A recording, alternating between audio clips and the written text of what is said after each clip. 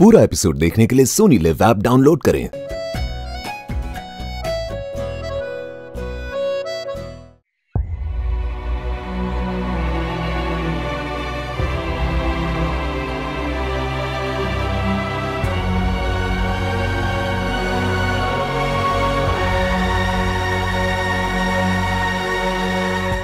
यथु आज अंकल आए हैं क्या? हाँ वो आज मेरे साथ ही आए थे।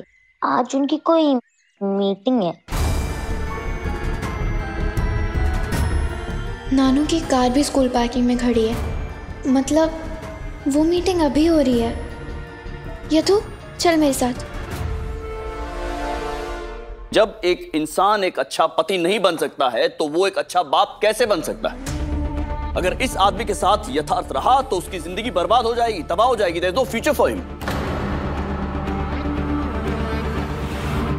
ये तो अच्छा है मिस आकांक्षा बड़ी मुश्किल से सही वक्त पर इनसे बचकर निकल गई हैं। लेकिन ये बात इनसे हजम नहीं हुई है। इसलिए अब मिस्टर मानव वाजपेयी अपने बेटे का इस्तेमाल करके मिस आकांक्षा से रिवेंज लेना चाहते हैं, बदला लेना चाहते हैं। मैं इस फोरम की एस्टीम्ड लेडीज़ से पूछना चाहता हूँ, क्या आप इस बात से सहमत नहीं होंगी कि जब एक बच्चा अपनी माँ से दूर हो जाता है तो उस बच्चे के सर से बचपन ही चला जाता है? और मुझे पूरा यकीन है कि ये एस्टीम स्कूल के बोर्ड ऑफ़ डायरेक्टर्स ऐसा नहीं होने देंगे एक बच्चे के साथ, उसकी लाइफ के साथ। यथार्थ वाजपेयी का सोल गार्डियनशिप उसकी माँ मिस आकांक्षा को मिलना चाहिए, जो कि अपने बच्चे का ध्यान रखने के काबिल है, लायक है और हकदार भी।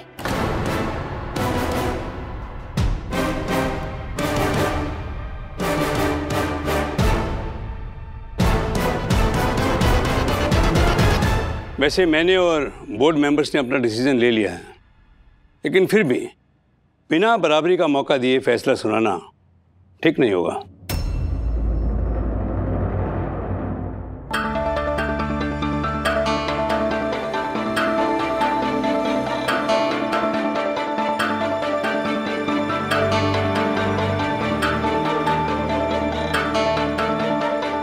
तो मिस्टर वाजपेयी, आप अपना पक्ष रखिए।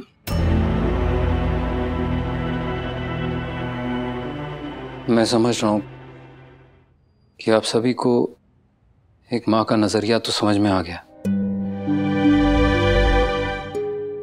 लेकिन आप एक माँ या बाप के नज़रिए से मत सोचिए, बल्कि एक सात साल की उम्र के बच्चे के नज़रिए से सोचिए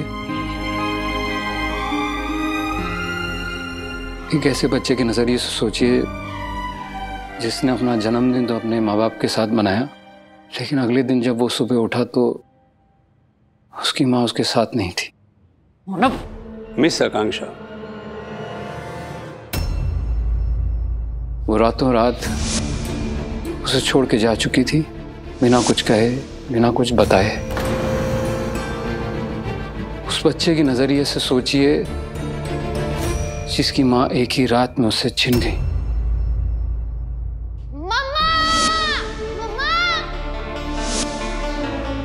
उस बच्चे के नज़रिए से सोचिए, जो घर में अपनी माँ को ना देखकर हर पल, हर लम्हा बेचैन होता रहा।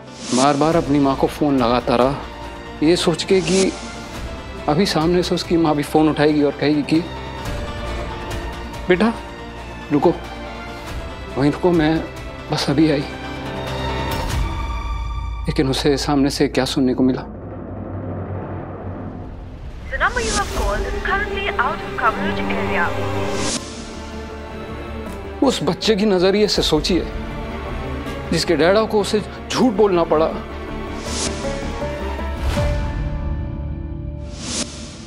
क्योंकि उसमें वो हिम्मत ही नहीं थी कि वो अपने बच्चे को बता सके कि, बेटा, आपकी माँ किसी और आदमी के लिए आपको और मुझे छोड़कर जा चुकी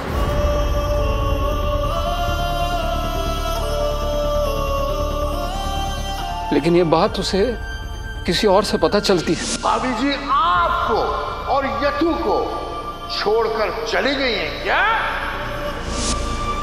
और वो सात साल का बच्चा सोचता है मेरे डैडा अगर मुझे रोते हुए देखेंगे तो वो टूट जाएँगे।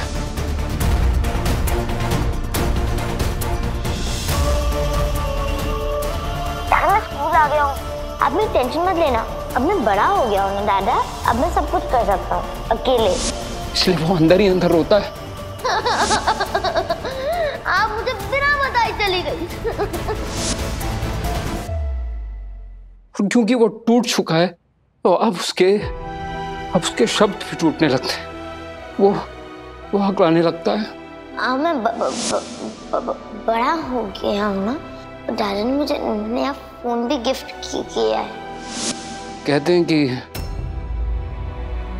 जब चोट लगती है तो सबसे पहले शब्द मुँह से माँ निकलता है। लेकिन उस बच्चे को क्या पता कि उसकी ज़िंदगी की सबसे बड़ी चोट उसकी माँ ही देगी। ये इतना बैड बॉय है। इसलिए मम्मी इसको छोड़कर चली गई। और फिर एक दिन वो सात साल का बच्चा अपने चौंतीस साल के बाप के आँसू पोछता है और कहता है, डैडा, मैं जानता हूँ, माँ आप कभी लौट के वापस नहीं आई।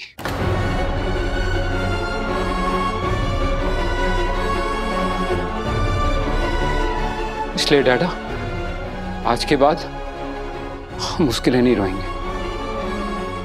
डैडा, हम हम एक दूसरे का सहारा बनेंगे। आकांक्षा रिलैक्स यार कि ये सपना है you stay patient relax smile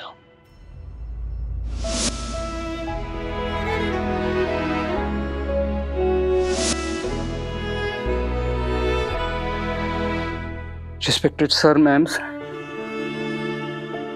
I believe आप लोग भी पेरेंट्स हैं, इसलिए आप लोग जानते हैं। माँ बाप के मन में सोते जागते, अपने बच्चे की भलाई चलती रहती है। वो सोचते हैं कि हम ऐसा क्या कर दें कि मेरा बच्चा हमेशा आगे रहे। वो सोचते हैं कि हम ऐसा क्या करते दें कि मेरा बच्चा हमेशा सेफ़ रहे। माँ बाप की हर सांस में अपने बच्चे की बेहतरी छुपी होती है। मैं मैं मैं भी अलग नहीं हूँ। मैं भी अपने बच्चे की सिर्फ़ भलाई चाहता हूँ। उस बच्चे को अभी तैरना भी नहीं आता और उसे अभी समुद्र की गहराई में फेंक दिया गया। मैं मैं बस उसे डूबने नहीं देना चाहता। मुझे बस थोड़ी मोहलत दे दीजिए कि मैं अपने बच्चे को इस तूफ़ान से बाहर निकाल सकूँ।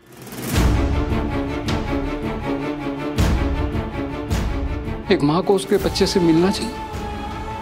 ज़रूर मिलना चाहिए। लेकिन अभी इनकी हर मुलाकात मेरे बच्चे के दिलो दिमाग में सिर्फ़ जख्म देगी और कुछ नहीं, सर। सर, एक बार मेरा बच्चा दुनियादारी समझ जाए, उसके बाद मेरा बच्चा अपनी माँ से मिलता, मुझे कोई एतराज़ नहीं है, सर।